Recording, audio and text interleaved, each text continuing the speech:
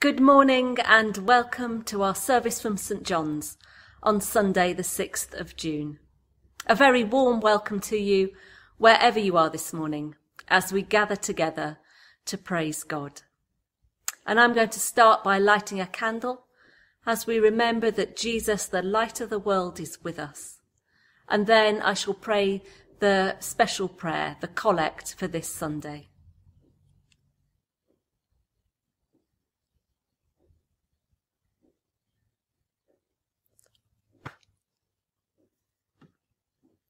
Faithful Creator, whose mercy never fails, deepen our faithfulness to you and to your living word, Jesus Christ our Lord. Amen. And our first song this morning is Let Us Build a House Where Love Can Dwell.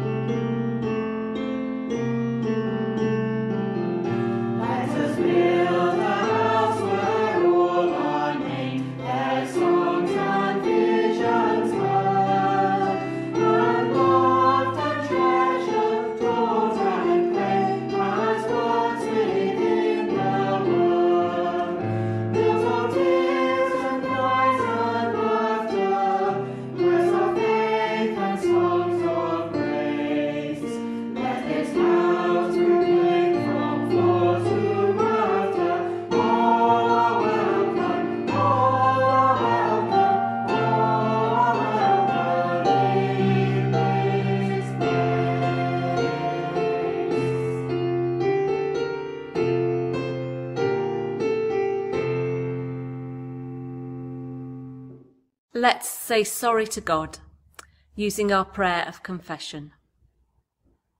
Lord our God, in our sin we have avoided your call. Our love for you is like a morning cloud, like the dew that goes away early. Have mercy on us. Deliver us from judgment. Bind up our wounds and revive us. In Jesus Christ our Lord. Amen. And may Almighty God, who forgives all who truly repent, have mercy upon you, pardon and deliver you from all your sins, confirm and strengthen you in all goodness, and keep you in life eternal, through Jesus Christ our Lord. Amen. And our Bible reading this morning comes from Mark's Gospel. It's read for us by Penny and then Sue will be talking about this passage. The reading is from Mark chapter 3, starting at verse 20. And the crowd came together again, so that they could not even eat. When Jesus' family heard it, they went out to restrain him, for people were saying, He has gone out of his mind. And the scribes who came down from Jerusalem said, He has Beelzebul, and by the ruler of the demons he cast out demons. And he called them to him, and spoke to them in parables. How can Satan cast out Satan? If a kingdom is divided against itself, that the kingdom cannot stand. And if a house is divided against itself, that house will not be able to stand. And if Satan has risen up against himself, and is divided, he cannot stand, but his end has come. But no one can enter a strong man's house and plunder his property without first tying up the strong man, then indeed the house can be plundered. Truly I tell you, people will be forgiven for their sins and whatever blasphemies they utter, but whoever blasphemes against the Holy Spirit can never have forgiveness, but is guilty of an eternal sin, for they had said, He has an unclean spirit. Then his mother and his brothers came and standing outside they sent to him and called him. A crowd was sitting around him, and they said to him, Your mother and your brothers and sisters are outside, asking for you. And he replied, Who are my mother and my brothers? And looking at those who sat around him, he said, Here are my mother and my brothers. Whoever does the will of God is my brother and sister and mother.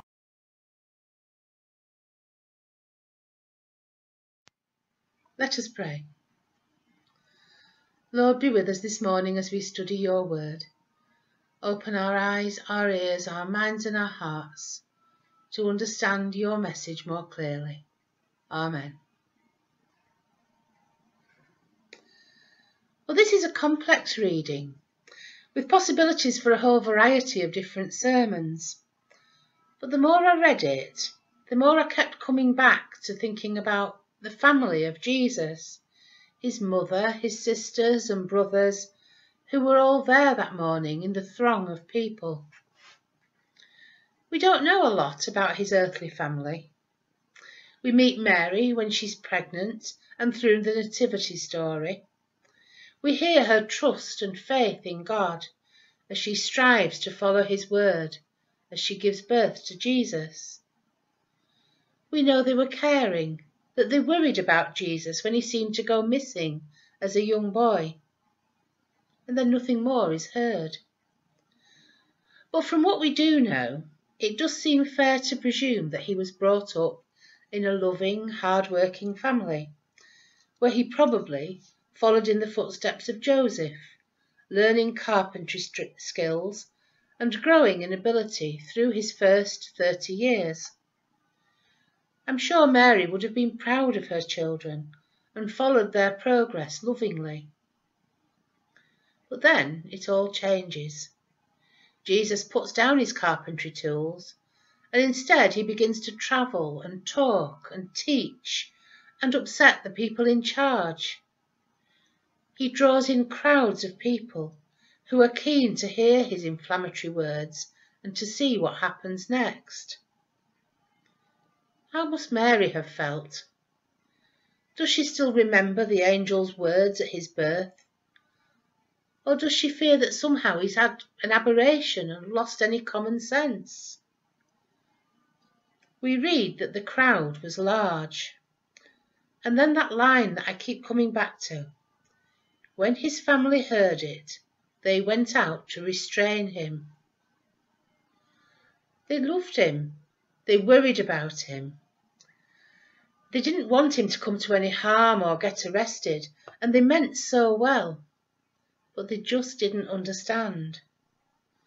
Perhaps they were angry, frustrated that he was letting down their good name, making them a laughing stock, an embarrassment somehow. Whatever their thoughts, they went out to restrain him. But Jesus was not to be stopped. He continues to speak out against injustice and false belief. He points out that infighting and greed lead to destruction, and how the only true way forward is to believe in God and follow the will of the Holy Spirit. Now, sitting here today, we've got the benefit of knowing the whole story. We can understand these words better because we have read the whole of Jesus' journey. Through the church year, we walk in his steps, and many of his words become deeply rooted in our minds and hearts. But for this crowd, it was all new, all different and extremely puzzling. How can this man, who many may have known as the local craftsman, how could he suddenly start to give his opinions about life and families and beliefs? It's not really surprising that Mary and his siblings tried to intervene. Whether through worries or fear or embarrassment, they wanted him to stop. They wanted him perhaps to return to the trusted and predictable big brother from of old. This new, energized and determined Jesus is just so different. He didn't fit in any more and somehow seemed to be moving further away from them. I think it must have been really tough for Mary, watching her family separate and become distant from how they all used to be when they were together. When they call out to him, reminding him that his mum and his brothers and sisters are waiting, the response must have exacerbated that hurt. Who are my mother and my brothers? Who are my mother and my brothers? Now that's a tough one. At one level, it could have felt like a total rejection. Or maybe it would make you think you were no longer relevant, not needed anymore, discarded like yesterday's rubbish. The thing is, there's such a wide gap here in understanding. Jesus does go on to say, Here are my mother and brothers, but whoever does the will of God is my mother, my sister, my brother. He wants them to know that, yes, of course they're important, they're his family, but at the same time, his family is so much bigger. He is a family member to all who truly believe in God and strive to do His will. As we see elsewhere in the Gospels, there are many people who take His words literally at a human level, whereas Jesus is talking about the much bigger picture. His love for all humanity is poured out for everyone, and in time his earthly family will come to see this but the short passage here encapsulates that horrible mixture of upset and hurt, puzzlement and fear for Mary and the other children. Sadly, that happens so often in families. There's almost a sense of reassurance that it even happened in this family, here in the Gospel today. Those outside the family home see one thing it can feel very different inside. Hostility, intolerance, apathy, or need can all hurt or even destroy families. In my work, I saw so many examples of people in crisis who were ashamed or afraid to be honest about difficulties. One lovely daughter of a frail, elderly lady that we were all very fond of I remember she sat sobbing in my office, pouring out her story of a troubled upbringing, when as a child she had no name other than the hated one. Whatever awful situation had led to her arrival in the world was never her fault, yet she was blamed and punished. There were other families that barred siblings from saying their goodbyes, somehow fearing what could be said at a deathbed. And the pain and hurt of loneliness, where a long forgotten argument led to irretrievable breakdown in communication and then inevitability of separation. Yes, life can be hard for so many. It's not always how the romantic novels portray it. And there's never a simple solution to those troubles, because they all begin in different ways, with different agendas and characters. In our lives, we are urged, as followers of Jesus, to listen to his words, follow his example, and try our best each day to draw closer to him. Part of that command is to love our neighbours as ourselves, to love the unlovable ones, the embittered ones, the moaners and the boasters, and everyone else in between. Yes, of course, He wants us to love our families, especially when we make, make mistakes or act in a way that lets Him down. He wants us to try to build bridges to be fair and just in our actions, and to encourage children and grandchildren to live lives that are full of love and joy. Mary and her family came to understand that bigger picture that Jesus shared so widely. They were with him right up to his final hours on the cross, loving him totally, understanding how, despite the differences, he had his purpose and the, he was and the meaning of why he'd lived his life in this new way. And I think that's the most important message from today's reading. There are times for each of us, just like Mary, when we feel hurt or embarrassed or we feel unfairly rejected.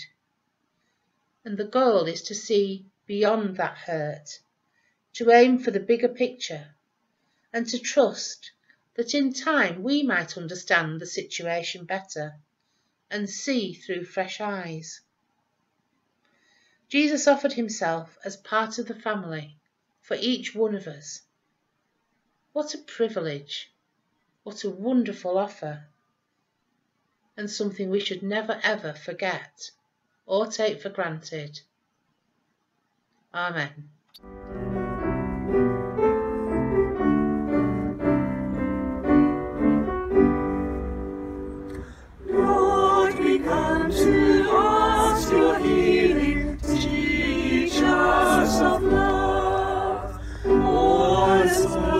去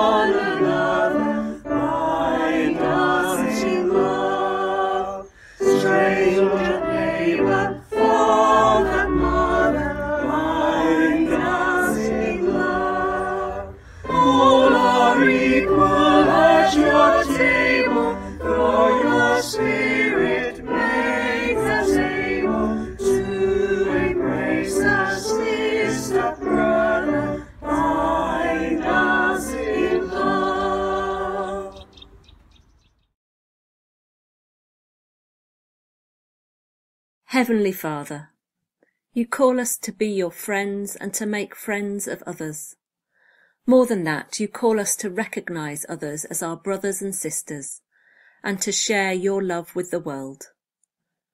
So we pray now for ourselves and for the world and its people. We pray for all areas in the world where deep divisions run between people because of race, religion or past history. We pray for areas of the world where people are terrorized by war and violence and ask that your spirit would lead people towards peace and justice, even in the darkest and most difficult circumstances. God of love, hear our prayer. We pray for communities in our own country where different traditions lead to suspicion and misunderstanding. Lord, help your people to listen well to each other and to welcome those who have been pushed to the margins of society. Use us as channels of your peace and love. God of love, hear our prayer. We pray for our families and friends, and thank you for those who've loved and supported us we ask your forgiveness for times when we have spoken harsh words and hurt those who are closest to us. Please help us to be more patient, loving and kind.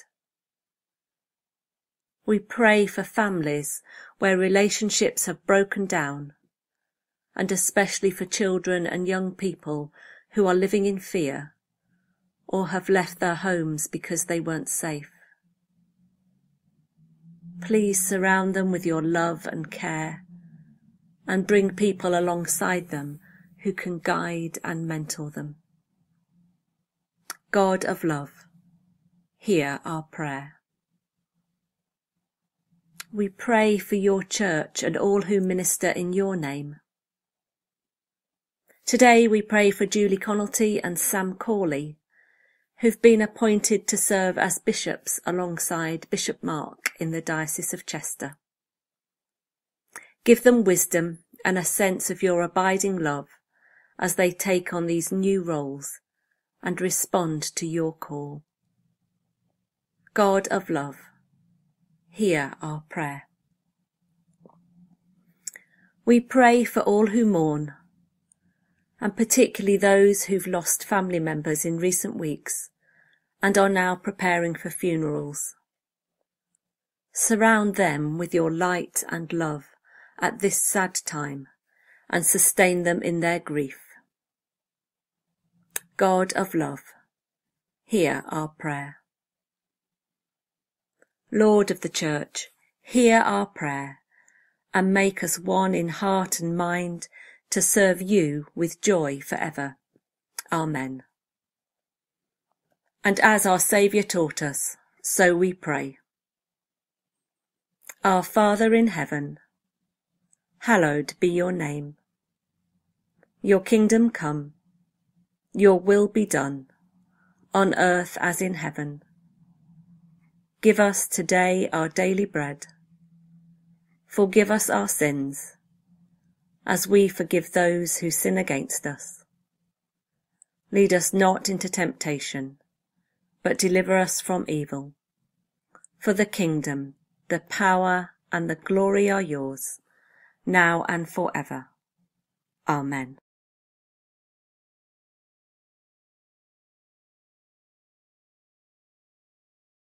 We affirm our faith in God together. We believe in God the Father, from whom every family in heaven and on earth is named. We believe in God the Son, who lives in our hearts through faith and fills us with his love. We believe in God the Holy Spirit, who strengthens us with power from on high. We believe in one God, Father, Son, and Holy Spirit. Amen. Our final song this morning is Lord Jesus Christ, you have come to us. You are one with us, Mary's son.